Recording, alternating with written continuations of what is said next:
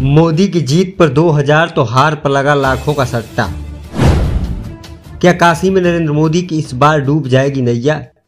Exit poll के बाद सट्टा बाज़ार में लगी करोड़ों की बोली। पीएम नरेंद्र मोदी यूपी की वाराणसी सीट से लगातार दो बार 2014 और 2019 में जीते। इस बार भी काशी में उनके जीतने की संभावनाएँ हैं। लोकसभा चुनाव 2024 से जुड़े एग्जिट पोल के नतीजों के बाद सट्टा बाज़ार और गर्मा गया है। खबर के मुताबिक सट्टा बाज़ार में 300 करोड़ रुपए से अधिक की रकम दाव पर लग चुकी है। मीडिया रिपोर्ट्स के मुताबिक सबसे बड़ा दाव प्रधानमंत्री नरेंद्र मोदी की वाराणसी सीट पर लगा है। हिंदी अखबार डीबी की रिपोर्ट में बताया गया कि पीएम की हार जीत पर सबसे बड़ा दाव लगाया गया है। पीएम नरेंद्र मोदी की जीत पर एक लाख रुपए लगाने पर वहाँ दो हज़ार रुपये मुनाफे का रेट है।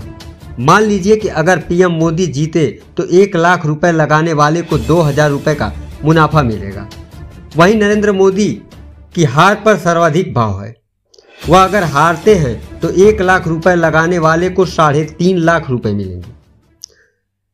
यहाँ रोचक बात यह है कि पीएम मोदी की जीत हार से अधिक इसके मार्जिन पर भी दाव लगाया गया है। अगर मोदी दो लाख के अंतर से जीतते हैं तो सट्टा बाज़ार में एक लाख से डेढ़ लाख रुपए मिलेंगे। तीन लाख से अधिक मार्जिन से मोदी जीते तो पैसा डबल हो जाएगा।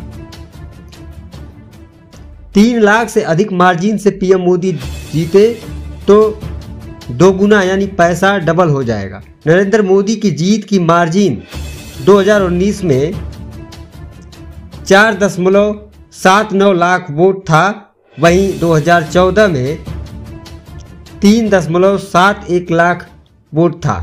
यूपी में लोकसभा की 80 सीटें हैं। काशी में एक जून को आखिरी चरण में मतदान हुआ था। यहाँ से इंडिया गठबंधन की ओर से अजय राय टाल ठोक रहे हैं।